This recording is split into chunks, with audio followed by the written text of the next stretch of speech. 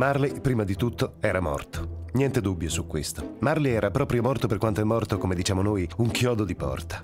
Sapeva Scrooge di questa morte? Ovvio. Scrooge e il morto erano stati soci per non so quanti anni.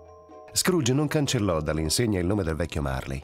Parecchi anni dopo leggevasi sempre sulla porta del magazzino Scrooge e Marley. Ma che stretta sapevano avere le benedette mani di questo Scrooge, come adunghiavano, premevano, torcevano, scuoiavano, artigliavano le mani dei debitori. Aspro e tagliente come una pietra focaia, dalla quale nessun acciaio al mondo aveva mai fatto schizzare una generosa scintilla. Caldo e freddo non facevano effetto sulla persona di Scrooge. L'estate non gli dava calore, il rigido inverno non lo assiderava. Nessuno lo fermava mai per strada per dirgli con allegria Come va, caro il mio Scrooge? A quando una vostra visita? Né un poverello gli chiedeva la più piccola carità. Ma che gliene importava a Scrooge? Meglio, anzi, ci provava gusto. Il più bel giorno dell'anno, la vigilia di Natale, il vecchio Scrooge se ne stava a sedere tutto affaccendato nel suo negozio. L'uscio era aperto per dare modo a Scrooge di tenere d'occhio il suo commesso, seduto a un leggio intento a copiar lettere. Buon Natale, zio! Un allegro Natale, Dio vi benedica! gridò una voce gioconda.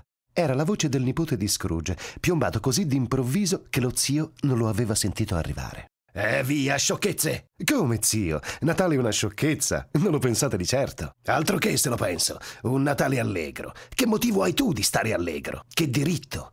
Sei povero abbastanza, mi pare. Via, via, che diritto avete voi di essere triste? Che ragione avete di essere uggioso? Siete ricco abbastanza, mi pare. Ah, via, sciocchezze! Non siate così di malumore, zio. Sfido io a non esserlo, quando sa da vivere in un mondaccio di matti come questo. Un Natale allegro. Al diavolo il Natale con tutta l'allegria. Che altro è il Natale se non un giorno di scadenze quando non si hanno più danari? Un giorno in cui ci si trova più vecchi di un anno e nemmeno di un'ora più ricchi. Se potessi fare a modo mio, ogni idiota che se ne va attorno con codesto allegro Natale in bocca andrebbe a essere bollito nella propria pentola e sotterrato. Zio! Nipote, tieniti il tuo Natale e lasciami il mio. Io credo che il Natale mi abbia fatto del bene e me ne farà. Evviva dunque il Natale!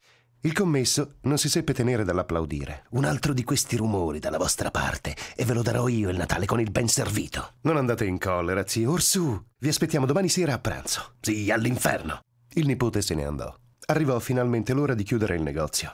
Immagino che la giornata di domani la vorrete tutta, eh? eh se vi piace, signore. No, non mi piace. E badate almeno a trovarvi qui più presto del solito dopodomani. Il commesso promise e Scrooge se ne uscì grugnendo e si avviò a casa per mettersi a letto. Passando per il mercato cittadino, Scrooge vide alcuni suoi debitori. Fannullone, mi dovete un sacco di denari. E invece di guadagnare siete qui a perdere tempo. Ma signor Scrooge, Natale, non è il momento di parlare di soldi. Ah, sciocchezze.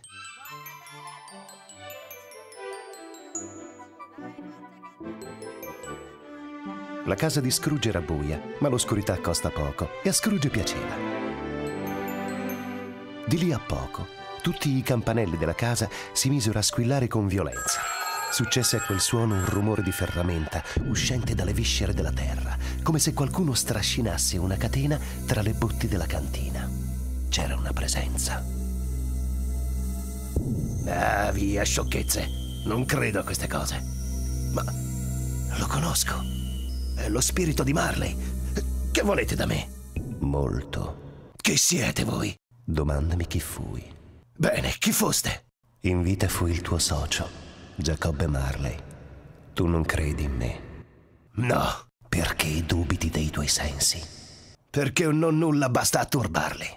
A questo lo spettro diè uno strido orrendo e scosse la catena con così tetro e rumoroso fracasso che Scrooge si tenne forte alla seggiola per non cadere svenuto. Credi adesso o non credi?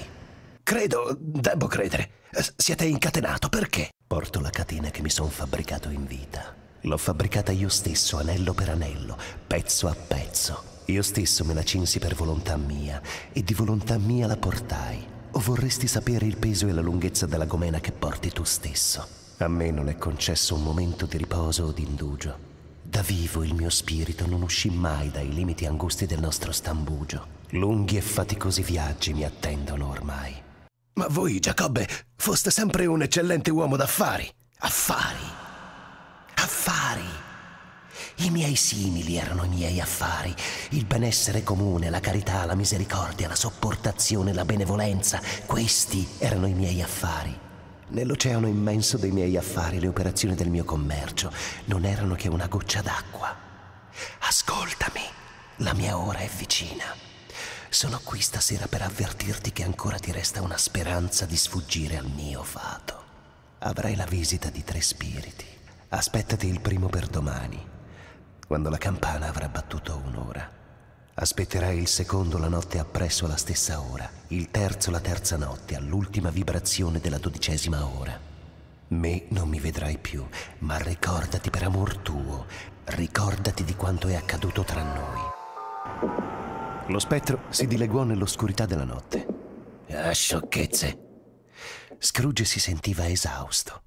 Tutto vestito com'era se ne andò a letto e si addormentò all'istante. Quando Scrooge si destò, era così fitto il buio che guardando dal letto si distingueva appena la finestra trasparente dalle pareti opache della camera. Quando all'orologio di una chiesa vicina suonarono dodici rintocchi. Mezzanotte. Erano le due passate quando s'era messo a letto. L'orologio andava male. Mezzanotte. E via! Non può essere che abbia dormito tutta una giornata e una seconda notte. Scrooge si mise a pensare, a lambiccarsi il cervello sulla stranezza del caso, ma non ne cavò niente di niente. Era stato o no un sogno? Gli sovvenne allora di colpo che lo spettro gli aveva annunziato una certa visita allo scocco del luna. Uno squillo gli percosse l'orecchio, al quale seguì subito un suono profondo, cupo, dolente. Una luce improvvisa balenò nella camera. Siete voi lo spirito la cui visita mi era stata predetta? Sono. Chi siete? Sono lo spirito di Natale passato. Passato da molto tempo? No. L'ultimo Natale vostro. E perché siete venuto? Per la tua salute, il tuo riscatto. Seguimi.